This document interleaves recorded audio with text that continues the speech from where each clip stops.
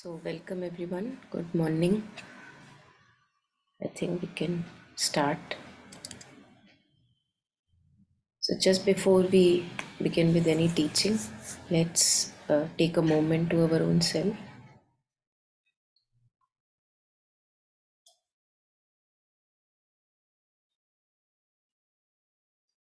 Just bringing the mind back home to the breath in the body.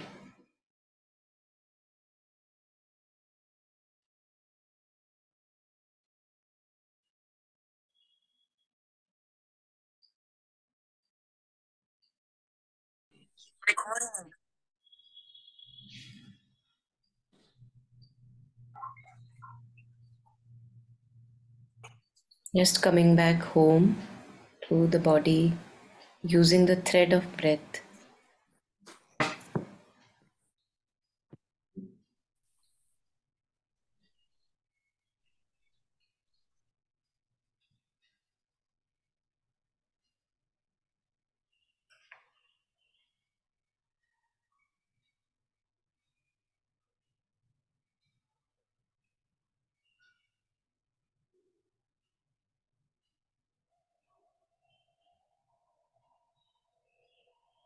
All the restless energies, they come back home.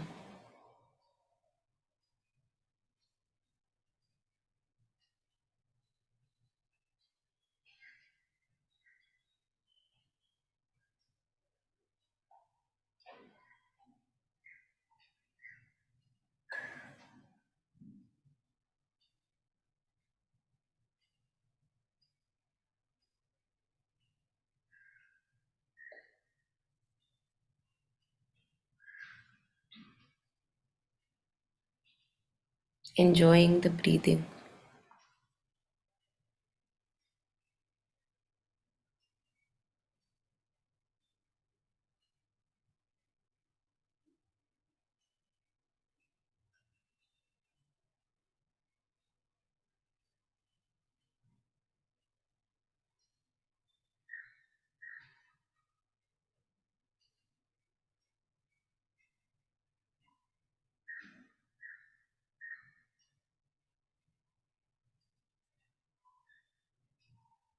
The thoughts will want to carry us away, but we'll just stay put with the breathing for now.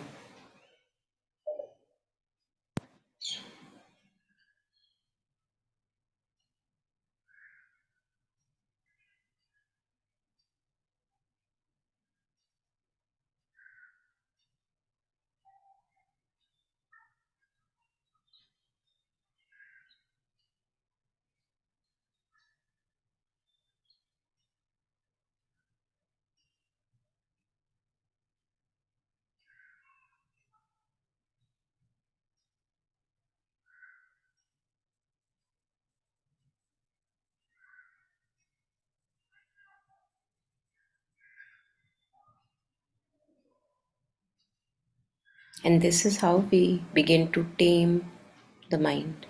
It listens to the command. At the moment, we are just with the breathing.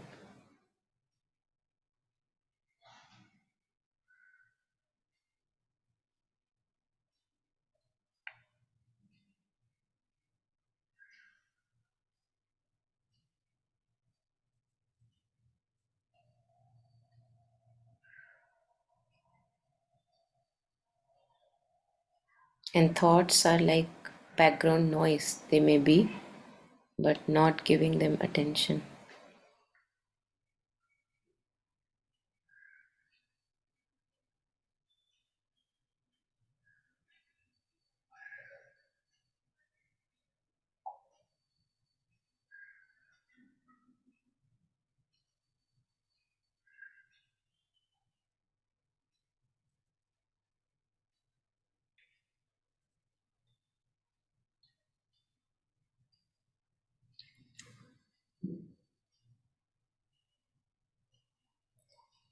So, we are going to use a teaching, a meditative teaching. If we want to still keep the eyes closed for our own relaxation, we can do that. It's by Thich Nhat Hanh on going home. What does it mean to be home?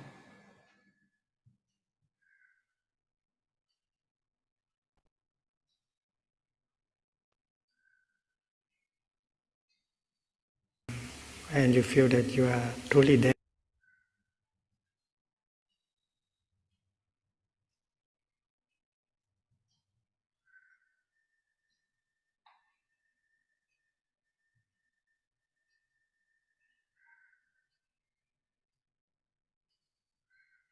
So we can read the question that has been asked, and now his reply would start.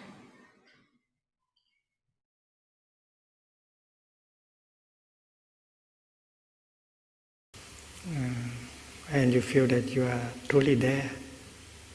You are not being pulled by either the past or the future or your projects, your thinking, because uh, thinking may cause us to lose ourselves. So uh, the practice of mindful breathing can unify body and mind, and uh, we can uh, find ourselves uh, established in the here and the now. And uh, the practice of mindful breathing can stabilize the situation. It helps us to calm down, uh, to be truly there, and to be aware of what is going on. We are not lost uh, by, uh, by what uh, is happening. We are still ourselves and um, it's like a, a house with several uh, several windows and doors. And if uh, we open all the windows and door in a time there is uh, strong winds, well, the wind will come in and blow everything away. So going home is like um, shutting the window, shutting the door uh, so that the wind will not uh, penetrate.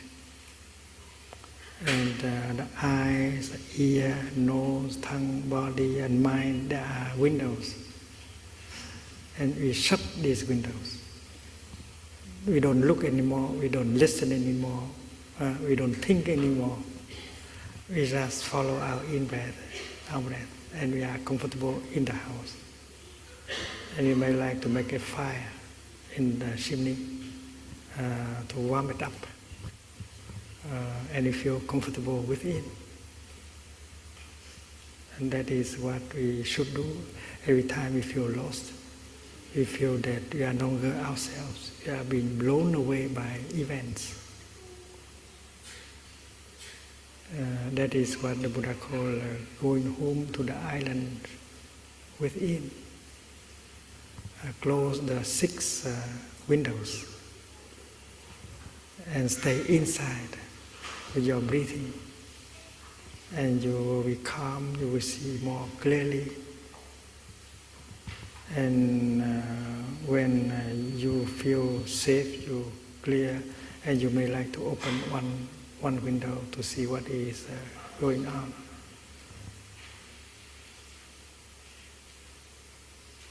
This should be a practice uh, taken by everyone when they don't feel um, like they are themselves. They losing themselves in the situation, in the environment. And closing the sixth sense door is a, a practice. And um, when you focus your attention on your in breath and out breath, and just pay attention to just that, and then the six doors will be closed by themselves. And we are warm inside. Uh, and the Buddha, the Dharma, and the Sangha are with us inside. The Dharma is your mindfulness generated by mindful breathing. It can show you, uh, it will bring you the light. And uh, the Dharma is your breathing in mindfulness. This is a real Dharma, this true Dharma. And You are protected by the Buddha, which is mindfulness. You are protected by the Dharma, which is uh, your mindful breathing. And then the Buddha and the Dharma, when the Buddha and the Dharma is there, your five skandhas, mm, which is uh, body, feelings, perceptions, mental formations. It is like a Sangha and you operate uh, in harmony. The Sangha is inside. So if you are, you take refuge in the three jewels, Buddha, Dhamma and Sangha, you are safe, you are in peace. And uh, to, to pronounce the, the sentence, I take refuge in the Buddha, in the Dharma, in the Sangha, it's not the same. You might pronounce that, but you don't do it. Now you don't have to pronounce the sentence, you just follow your in breath and breathe in and out mindfully. And then the Buddha, the Dharma and Sangha just uh, manifest in you as a refuge and you are safe. And Thay practice that. Mm. In difficult moments, it's disturbing situation, they always practice that. Mindful breathing and go home to himself and get the protection of the Buddha, Dhamma and Sangha. Anywhere you can do that. When, when there is fear, anger, confusion, despair, uh, we should take refuge in the three jewels just by uh, the practice of uh, mindful breathing. And you see the effect.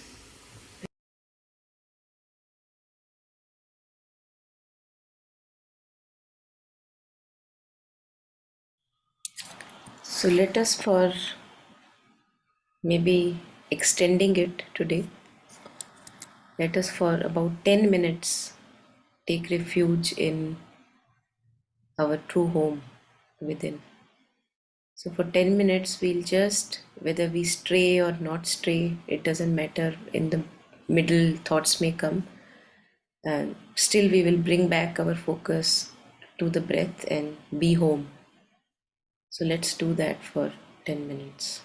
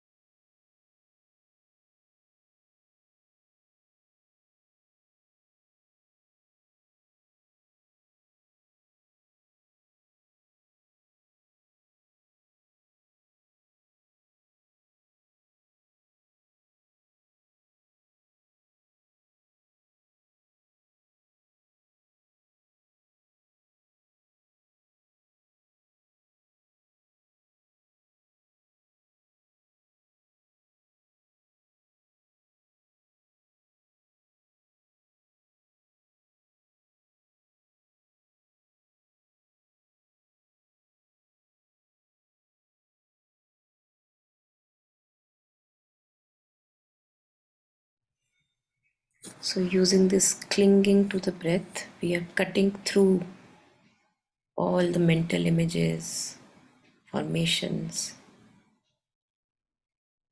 overwhelming situations that may be there.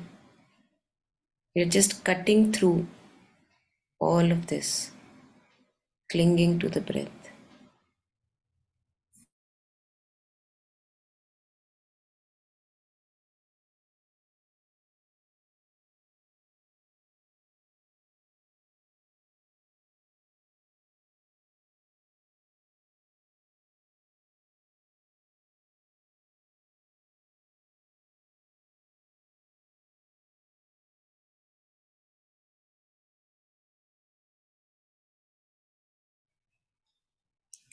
And just like in the game of rugby, if you see, you have the ball in the hand and you're trying to reach to the other goal post. And many people are trying to stop you, take the ball away from you. And these are our so called important thoughts, important things to attend in the mind. And they will call for your attention, they will ask you to leave the breath and look at me, look at me. But you won't leave the ball, you won't leave the breath.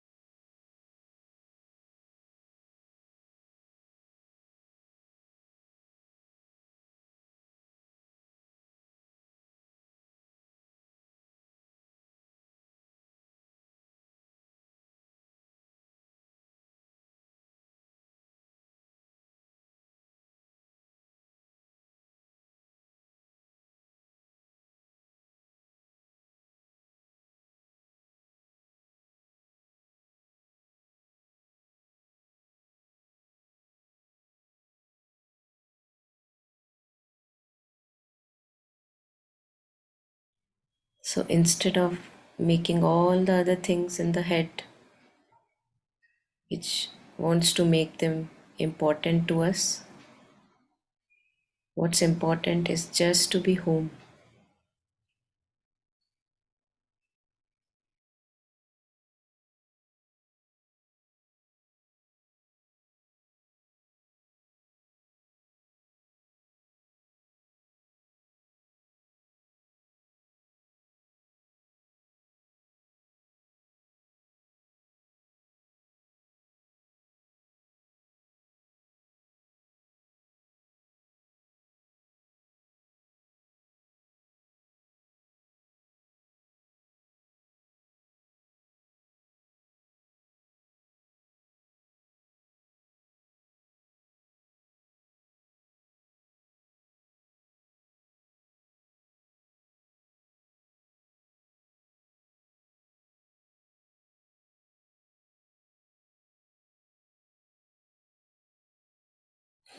So things may be unfixed in the outward situations,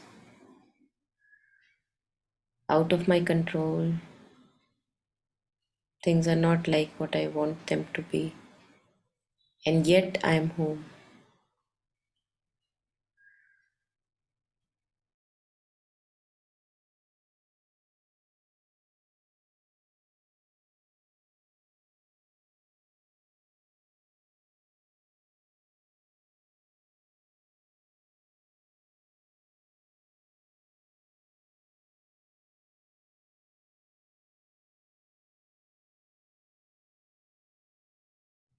Because I want to be home.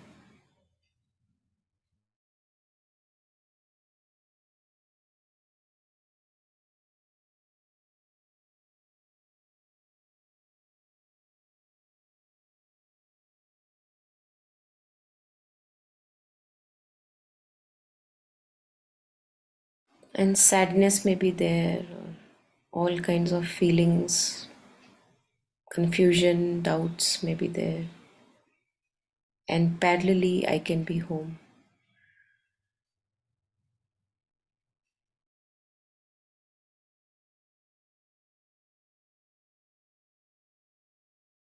Or even joy, happiness can be there. And I am home.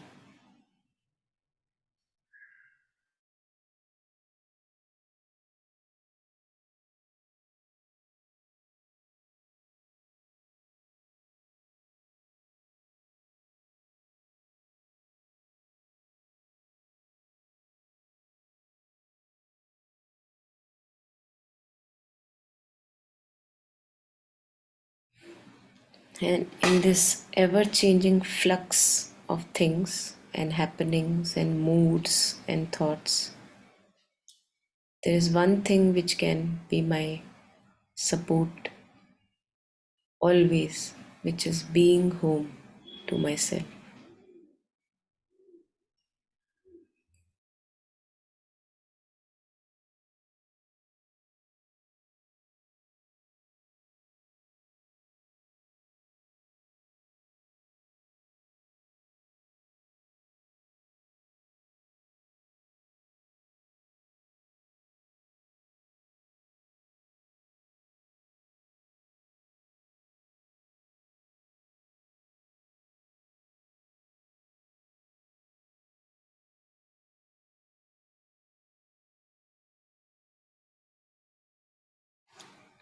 Restlessness may be there, and I'm home.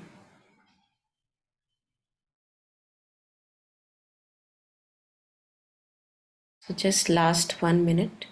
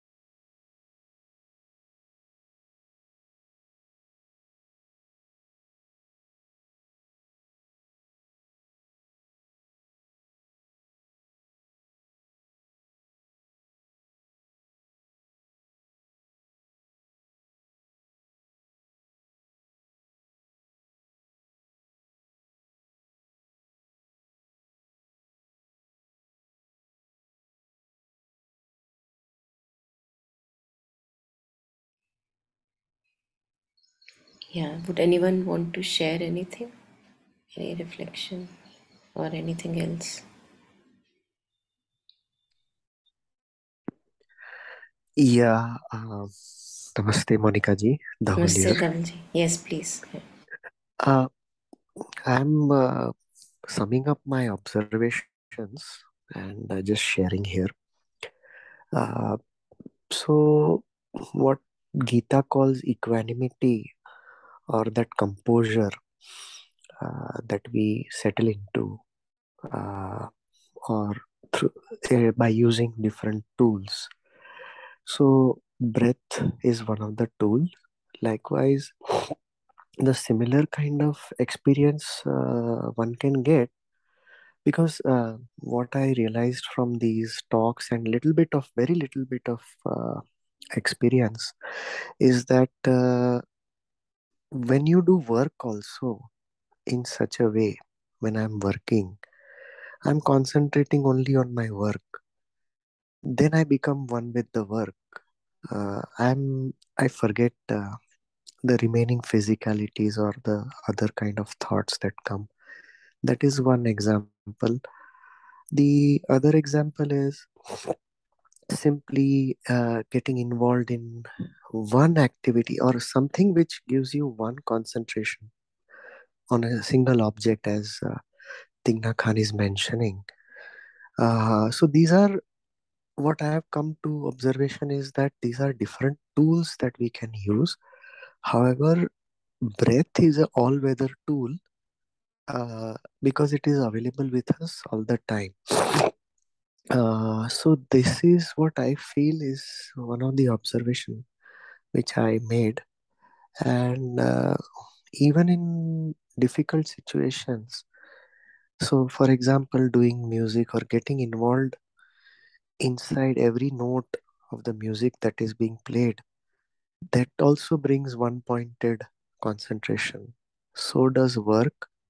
So does uh, breath. So this has been my observation. I just uh, I'm sharing. Maybe you anyone can validate uh, that. Yeah.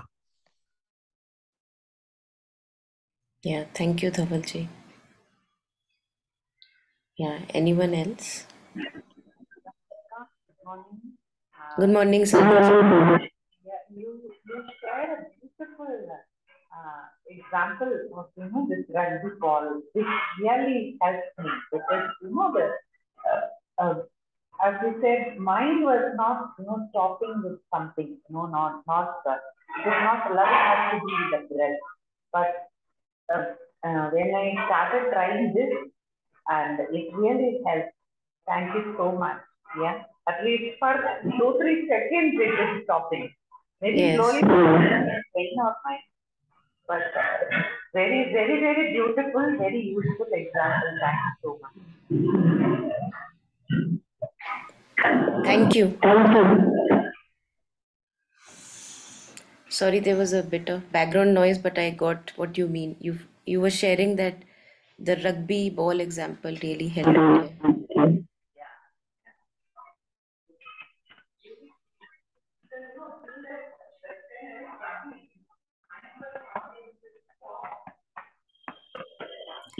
I can't hear you at all.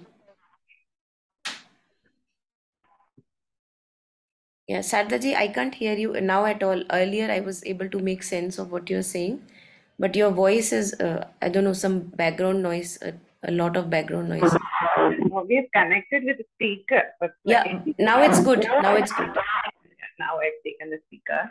Yeah, no, what I was saying before that, I was struggling a lot to uh, bring the mind to, you know, the breath, as you always say.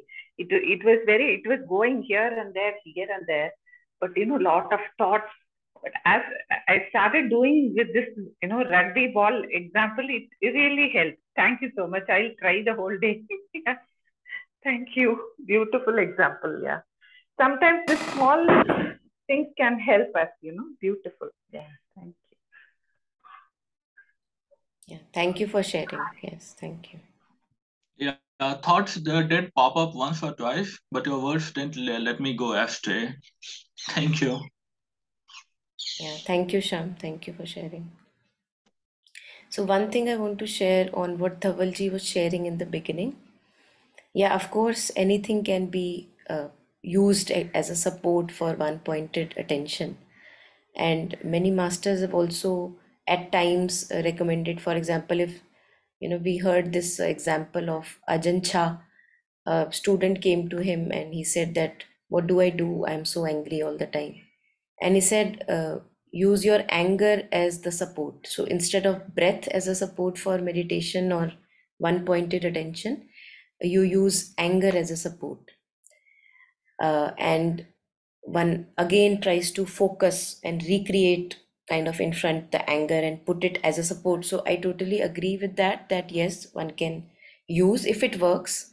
But parallelly that's not the only thing that's uh, going to be done in meditation.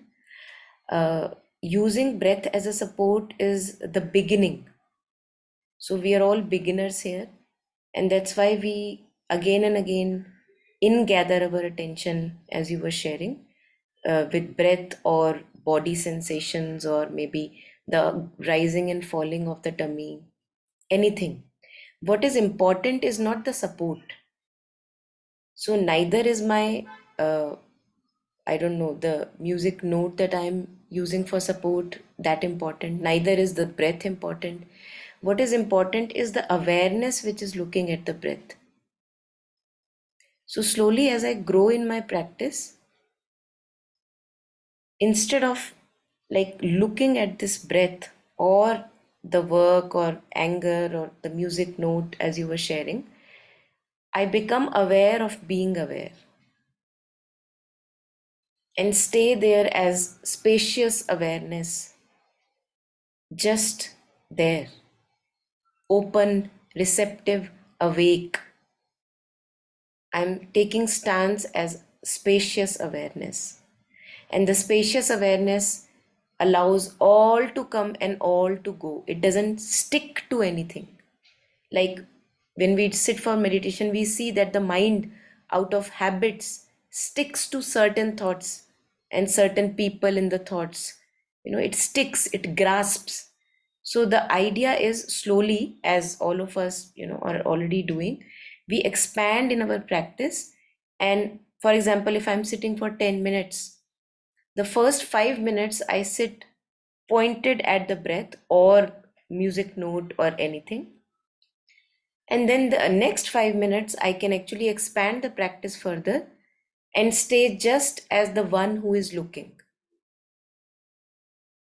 So stay just as the spacious awareness. And all the thoughts and rising and falling of images, where is it happening? It's happening in awareness. It's like a huge ocean that i become of awareness in which all can rise and disappear. Yeah Shardaji, anything from you? Yeah yeah monica first i understood the first five minutes uh, you said. What, what is the second sentence? I didn't get it. Yeah, so I said the first five minutes, we bring our focus back to the breath again and again, again and again, or any other object of support that you may be using. And in the next five minutes, we look at the one who is looking.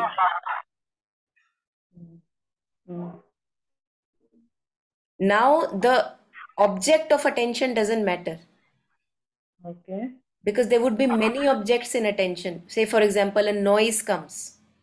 But who are you? You are this awareness which knows the noise. Okay. For example, again you become aware of the breath. Who are you? The one who is aware of the breath.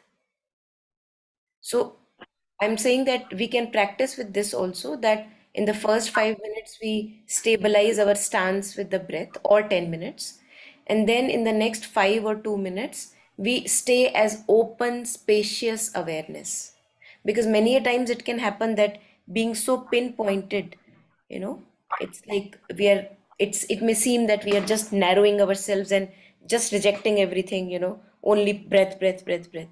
But that's not the idea. Breath is just used as a support to stabilize. That's why they call it shamata practice in buddhism they call it shamata practice because we are stabilizing as dhavalji was sharing in gathering our attention.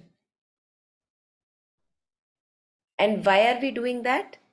Slowly we expand in the practice and we take stance as the spacious awareness which allows all the events and sense perceptions to come and go and come and go and come and go.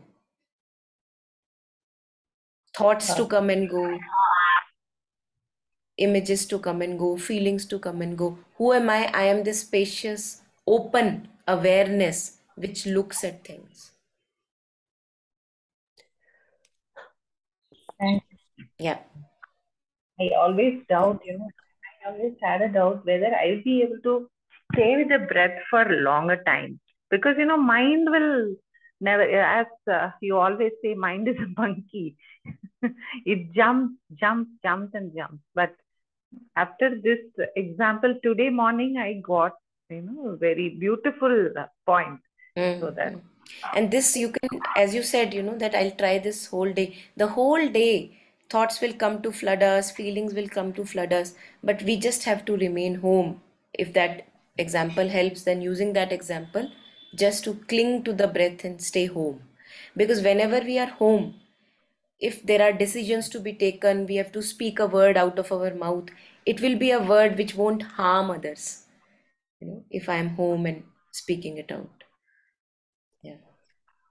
So, Monica ji, uh, I uh, really like that rugby example which you gave, and also uh, uh, one of the things, uh, another observation there is that uh, if you actively listen to anything, that also calms the person down and makes them one because active listening is different from I'm just sitting and listening, like passively listening to you.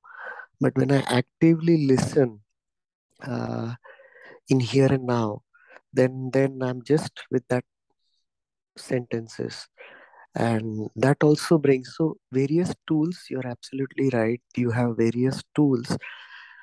Some tools may allow you to settle in quickly.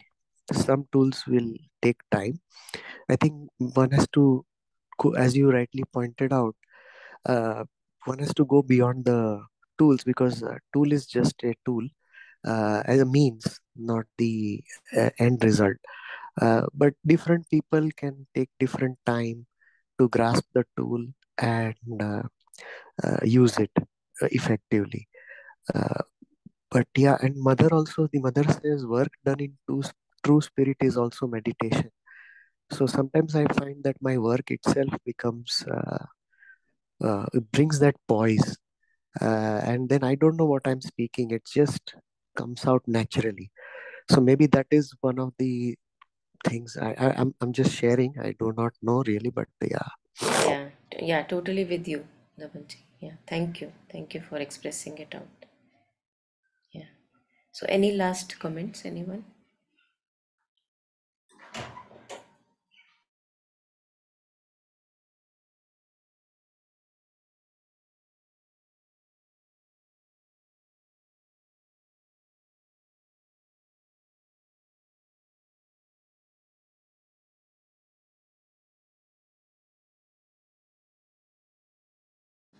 Okay, so I'm assuming there is nothing more.